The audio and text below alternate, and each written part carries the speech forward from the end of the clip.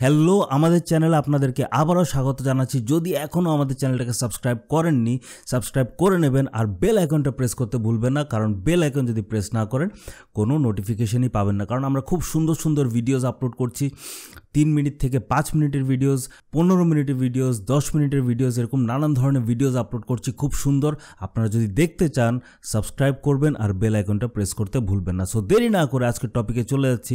আজকের টপিকটা হচ্ছে মথি ছয় অধ্যায় একত্রিশ থেকে তেত্রিশ অব্দি আমি পড়ছি। সেই কারণে আমরা কি খাব বা আমরা কি পান করব বা আমরা কি পরব, এসব নিয়ে তোমরা দুশ্চিন্তা করো না। কারণ পরজাতিরাই এই সমস্ত বিষয়ে ব্যতিব্যস্ত হয়ে থাকে। অথচ তোমাদের স্বর্গস্থ পিতা জানেন যে এগুলো তোমাদের প্রয়োজন।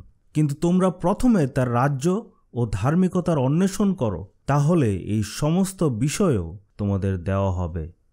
এইখানে যিশু বলছে যে কি খাব, কি পান করব, কি পরব, এটা নিয়ে এত চিন্তা করবে না, এটা নিয়ে এত টেনশন করব না।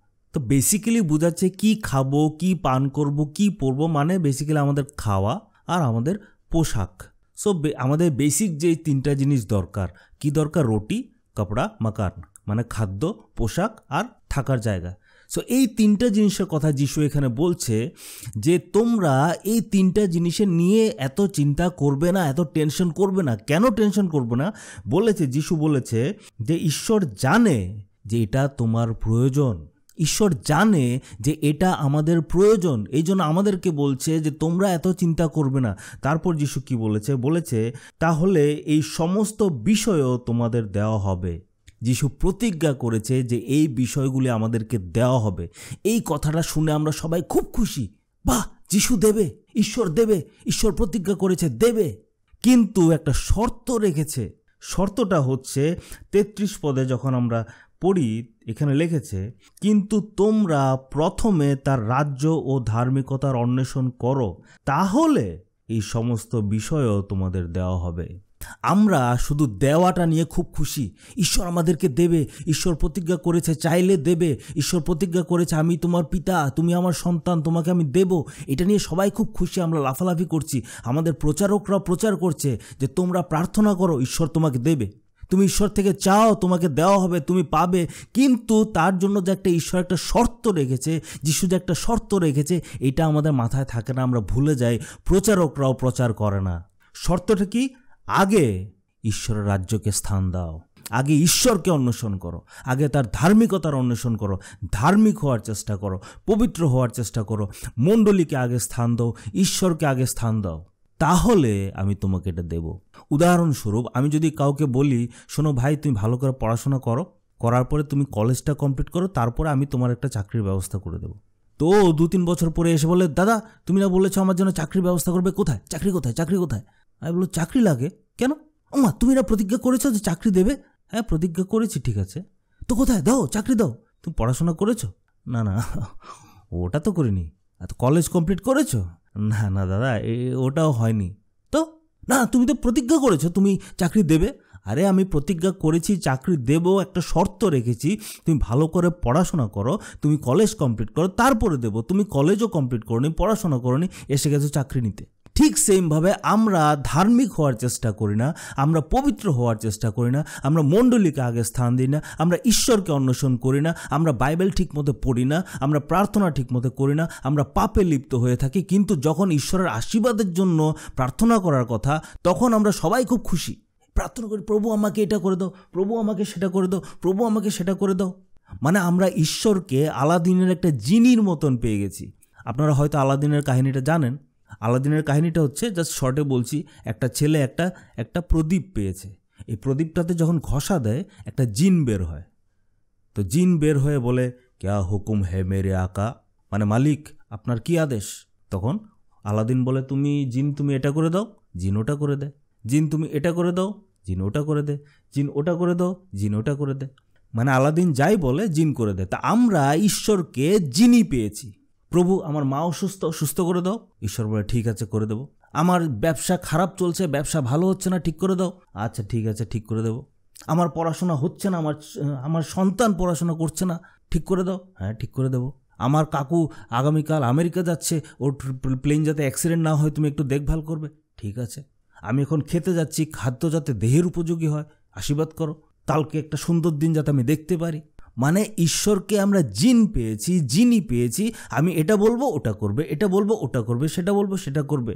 কিন্তু ঈশ্বর যে যিশু যে বলেছে, প্রথম তার রাজ্যকে খুঁজো, প্রথম ধার্মিকতা খুঁজো, প্রথম পবিত্রতা খুঁজো, এটা কি আপনারা করেন? এটা কি আমরা করি? আপনি নিজেকে প্রশ্ন করুন, আপনি মণ্ডলীর জন্য আজ অবধি কী করেছেন? আপনি আপনার পাস্টরের জন্য কয়বার প্রার্থনা করেছেন? আপনার মণ্ডলীর কোনো একজন মেম্বার যদি অনেক দিন ধরে আসছে না, তাকে দেখার চেষ্টা করেছেন? তার সাথে কথা বলেছেন? আপনি অনেক বছর ধরে খ্রিস্টান, আপনি বাইবেলটা কতটুক পড়েছেন? আপনি বাইবেলের ভিতরগত ব্যাপার কতটুক জানেন? আপনি আত্মিক রূপে কতটুক ডেভেলপমেন্ট করেছেন? আপনি ধার্মিকতা কতটুক উন্নত হয়েছেন? আপনি পবিত্রতায় কতটুক ডেভেলপ করেছেন? আপনি নিজের পাপগুলোকে ত্যাগ করতে পেরেছেন? আপনি সবসময় ঈশ্বরকে অন্বেষণ করেন, নিজেকে প্রশ্ন করুন প্রত্যেকটা মোমেন্ট প্রত্যেকটা সেকেন্ড প্রত্যেকটা মিনিট প্রত্যেকটা ঘণ্টা সারা দিন আপনি কি ভাবেন যে ঈশ্বর কে? ঈশ্বর কি চায় আমার থেকে? কীভাবে আমি ঈশ্বরের কথা অনুসারে চলতে পারব? কীভাবে আমি ঈশ্বরের পথে চলতে পারব? আপনি কি চিন্তা করেন? সারাদিন ফ্যামিলি নিয়ে চিন্তা করছেন আপনি? চাকরি নিয়ে চিন্তা করছেন? পড়াশোনা নিয়ে চিন্তা করছেন? নিজের মা বাবা নিয়ে চিন্তা করছেন? নিজেকে নিয়ে চিন্তা করছেন? স্বাস্থ্যর কথা চিন্তা করছেন? ব্যবসার কথা চিন্তা করছেন? কিন্তু ঈশ্বরের ব্যাপারে চিন্তা করার আমাদের সময় নাই। আবার যখন প্রার্থনা করার সময় আসে, তখন আমরা সবাই খুব খুশি। এই বাইবেলে বলেছে তো, সমস্ত বিষয় তোমাদের দেওয়া হবে, কিন্তু শর্তটা আছে। প্রথমে তার রাজ্য ও ধার্মিকতার অন্বেষণ করো, তাহলে দেব। আমি শর্তটাই কমপ্লিট করতে পারলাম না। আমাকে ঈশ্বর কেন দেবে? আপনি ভাবছেন আমি প্রার্থনা করছি, কেন উত্তর পাচ্ছি না? কারণ আপনি ঈশ্বরকে স্থান দিচ্ছেন না। আমি প্রার্থনা করছি, কেন উত্তর পাচ্ছি না? কারণ আপনি ধার্মিকতাকে স্থান দিচ্ছেন না। প্রথম স্থান দিচ্ছেন না। দিচ্ছেন, কিন্তু প্রথম স্থান দিচ্ছেন না। ঈশ্বরকে প্রথম স্থান দেওয়া, ঈশ্বরের ধার্মিকতাকে প্রথম স্থান দেওয়া, মণ্ডলীকে প্রথম স্থান দেওয়ার অর্থটা কি? ওটার ব্যাপারে আমি একটা ভিডিও বানিয়েছি অনেক আগে। এখানে আপনার লিঙ্কটা এসছে, আপনারা দেখতে পারবেন। এটা হচ্ছে কে আসলে খ্রিস্টিয়ান? Part three. কে আসলে খ্রিস্টিয়ান? পার্ট ওয়ানও আছে, পার্ট টুও আছে, আর পার্ট থ্রির মধ্যে মেনলি আমি এই মতি ছয় অধ্যায় তেত্রিশটা আমি ডিসকাস করেছিলাম। আপনারা এখানে গেলে আর বিস্তারিতভাবে জানতে পারবেন। এখানে জাস্ট আমি বলতে চাই যে আমরা আশীর্বাদটা আশা করছি। কিন্তু এই আশীর্বাদের জন্য যেটা আমার ত্যাগ করতে হবে, ওটা করতে রাজি না। ঈশ্বরের থেকে আশীর্বাদ চাইছি। এটা দাও, সেটা দাও, কিন্তু ঈশ্বর যে আমাকে বলেছে, প্রথম আমাকে খুঁজো, আমাকে অন্বেষণ করো, আমার ধার্মিকতা খুঁজো, মণ্ডলীর ব্যাপারে চিন্তা করো। ওইটা আমার করার সময় নেই, কিন্তু ঈশ্বরের আশীর্বাদের জন্য আমি খুব লাফালাফি করছি। প্রার্থনা করছি, প্রভু, আমার বিজনেসটা ডেভেলপ করে দাও। প্রভু, আমার পরিবারে অনেক অশান্তি, তুমি ঠিক করে দাও। কিন্তু নিজেকে প্রশ্ন করুন, আপনি কি ধার্মিকতা খুঁজছেন? প্রথম স্থান দিচ্ছেন নিজের জীবনের প্রত্যেকটা ক্ষেত্রে ঈশ্বরকে প্রথম স্থান দিচ্ছেন? যদি না দিয়ে থাকেন, তাহলে আপনার ঈশ্বর থেকে আশীর্বাদ চাওয়ার কোনো অধিকার নেই। যদি আপনি ঈশ্বরকে প্রথম স্থান না দেন, যদি ধার্মিকতাকে প্রথম স্থান না দেন, যদি চার্চকে, মণ্ডলীকে প্রথম স্থান না দেন, আপনি তারপরে গিয়ে প্রার্থনা করবেন যে, আমাকে এটা দাও, সেটা দাও, আর ঈশ্বর দিয়ে দেবে। ঈশ্বর শর্ত ক্লিয়ারলি দিয়ে দিয়েছে।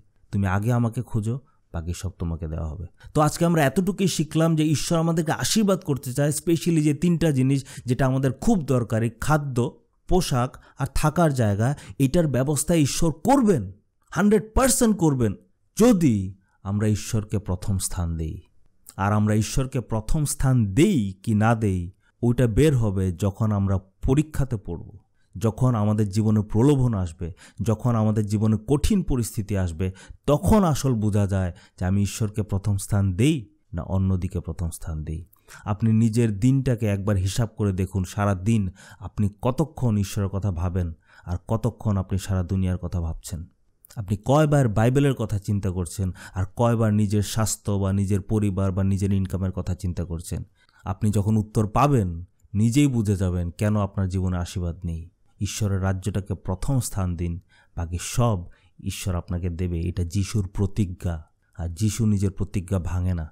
যিশু ওনার প্রতিজ্ঞা ভুলে যায়নি, ঈশ্বর ওনার প্রতিজ্ঞা ভুলে যায়নি, আমরা আমাদের কর্তব্য ভুলে গেছি।